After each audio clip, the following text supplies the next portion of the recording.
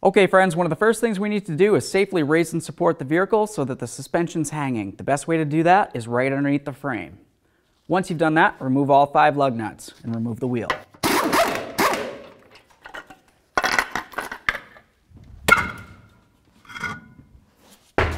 Now I'm going to take a nice pry bar and I'm going to come in between the caliper and the rotor itself and just try to push in the pistons a tiny bit.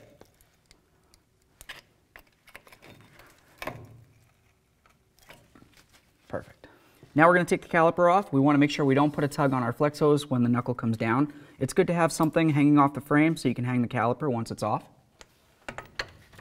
There we are. And set that so it's going to be safe. Let's get the rotor off of here. So we're going to take off our tie rod end nut here. So just go ahead and bend out that little clip. remove the nut. I like to leave it on a couple threads. Now we're going to bonk right along here to separate the tie rod from the knuckle.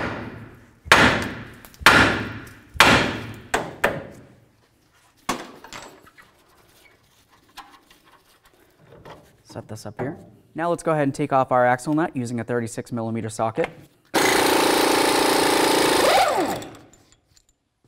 Now you just want to make sure the axle can move in and out of the wheel bearing. If it can't, you can of course put the nut back on a few good threads, give it a couple loving bonks until it does. Now looking at the back side of the knuckle, along where the axle connects into it, you're going to see three mounting bolts for the wheel bearing itself. There's one here, one on top, and then one towards the front. Remove all three.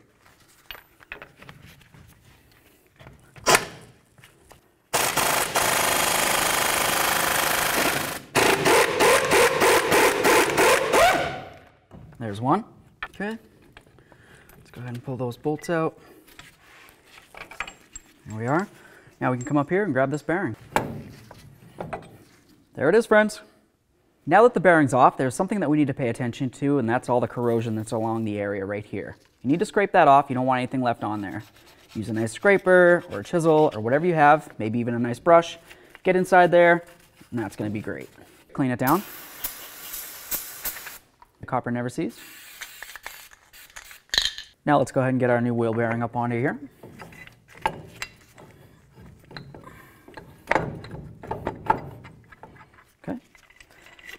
Start in all three bolts. I like to use a tiny bit of red thread locker.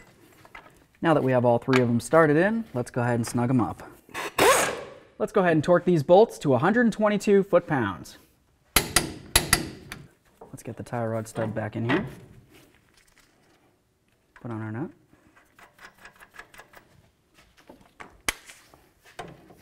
Snug it up. Let's go ahead and torque this to 45 foot-pounds. Once again, we need to continue on to make sure that it's lined up.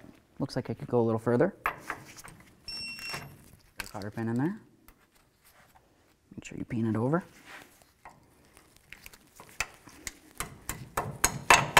Make sure you clean up the backside of your rotor where the mating surface is. Let's apply a little bit of copper Never-Seez on the bearing. Go ahead and put your rotor up on there. Now we're going to grab the caliper, start it on there as well. Use a little red thread locker if you're not going to be replacing your nut, but it is recommended to replace the nut.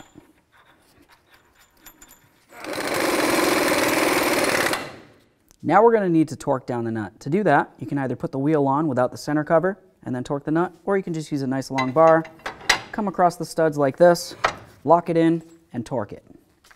Now let's torque it to 185. Let's go ahead and start the caliper on. There we are. Start in both of your bolts. It's a good idea to use a little bit of thread locker on these. Okay, let's bottom these out. Now let's torque these to 138 foot-pounds. Now it's going to be time to get the wheel up on here. We're going to snug up the lug nuts and we'll torque it to 130 foot-pounds.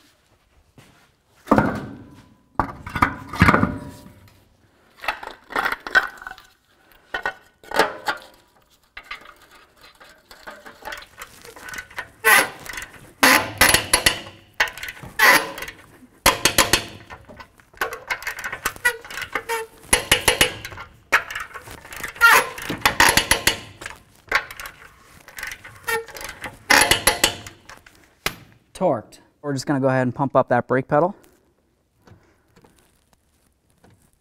That feels good. Okay, so now at this point, what you wanna do is take it for a road test and of course, get it down to your local alignment shop.